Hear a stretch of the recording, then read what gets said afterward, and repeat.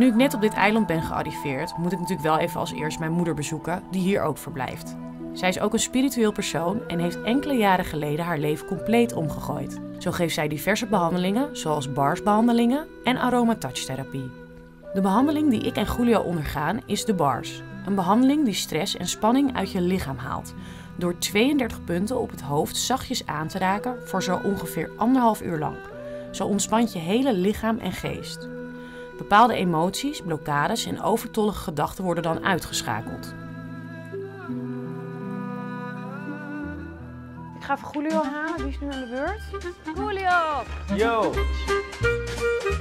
donde está? ik ga mijn spirituele reis nu beginnen. Ja. Maar ik ben al hartstikke spiritueel hoor. Nou, dat zullen we nog wel eens zien, Julio.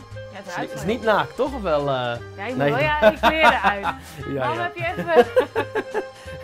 En je zonnebril moet sowieso af. We zijn allemaal een soort van computer en onze harde schijf slaat dagelijks allerlei informatie op, waaronder veel stress en frustratie. Maar mensen zitten nou eenmaal veel in onze eigen gedachten. Deze behandeling zorgt ervoor dat je harde schijf volledig wordt gereset.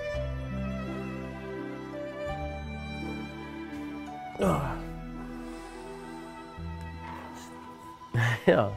Volgens mij zat jij lekker te slapen, of niet? Nou, ik sliep bijna inderdaad. Ja, ik hoor een, af en toe een beetje een knorretje. ja, maar weet je wat het is? Dan maak je zo'n knorretje en dan word je zomaar wakker van je eigen knorretje. dat ken ik, ja. Na wat ontspanning gaan we bespreken waarvoor we hier ook naartoe zijn gekomen. Nou, Julio, we zijn natuurlijk eh, eigenlijk wel een beetje samen op een spirituele reis. Ja. Hoe vind je het tot nu toe?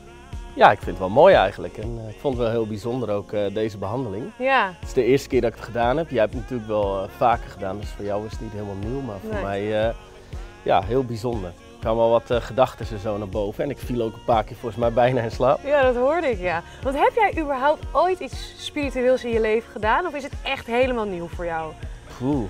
Nou, volgens mij heb ik niet heel veel spirituele dingen gedaan in Nee? mijn leven. Nee, nee maar ik sta er op zich wel voor open. Het is Ja. niet zo dat ik het helemaal niks vind. Maar ja, ik weet niet, het is niet zeg maar, wat ik meteen als eerste zou doen. zeg Dus het is eigenlijk wel heel Ja. erg leuk dat je hiermee naartoe neemt en dat je eigenlijk iets heel nieuws ontdekt wat je nog helemaal niet kent. Ja, dus wel een beetje uit mijn comfortzone, zeg Ja. maar. Tof, Ja. hè? Ja, en we zijn hier natuurlijk niet voor niks, want je bent natuurlijk van de waterontharder. En ik heb het toen de tijd al tegen jou gezegd, want het is best wel bizar. Spanje is gewoon een EU-land. Ja. En het enige waar de mensen hier tegenaan lopen, vooral de Nederlanders, is Ja. dat het water hier zo slecht is. Kijk, in Nederland is het water eigenlijk relatief goed nog. Ja, Vergeleken met andere landen. Dus als je het water in Nederland gewend bent, dan vind je het hier echt helemaal eh, ja het, niks. Dus dan is eigenlijk jouw systeem, een klein compact apparaatje, is eigenlijk een beetje de uitvinding om hier te gaan plaatsen. Ja, eigenlijk wel. Want Ja. dan kunnen mensen natuurlijk voor een relatief kleine investering, die je ook nog eens terugverdient, eh, van hun probleem af zijn. Je hebt me natuurlijk al in Nederland verteld dat je het nu ook met andere landen bezig bent. Je bent natuurlijk al in België bezig, je bent in Amerika bezig. Ja, En nu gaan we het ook in Spanje ja dat is introduceren. ook weer een mijlpaal natuurlijk. Hè? Ja, is toch Ja. wel weer een mijlpaal. En dan ben ik eigenlijk benieuwd, omdat je natuurlijk altijd zegt van in Nederland is het heel makkelijk te installeren.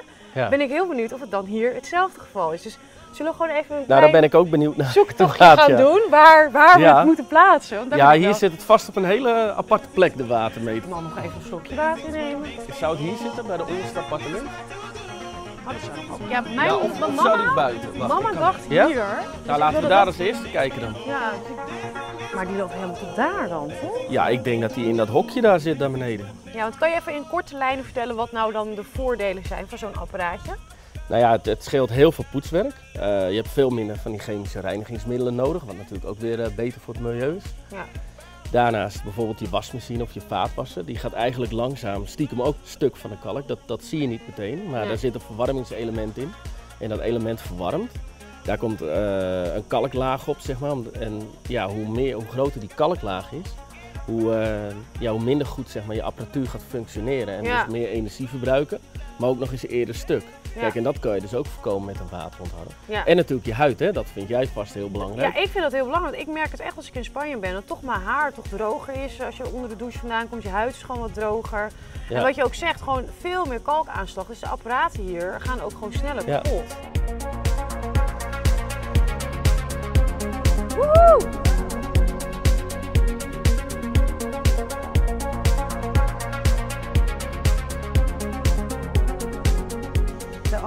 4000. Een goede Thank you. Hij mag tyleen, koper, aluminium, staal. En hij mag zowel voor als na de weten. Maar nu zit hij eh, mooi in het kastje. Zo zit hij strak. Nou, strikken eromheen en klaar. Ja, Dankjewel. ja, graag gedaan hè.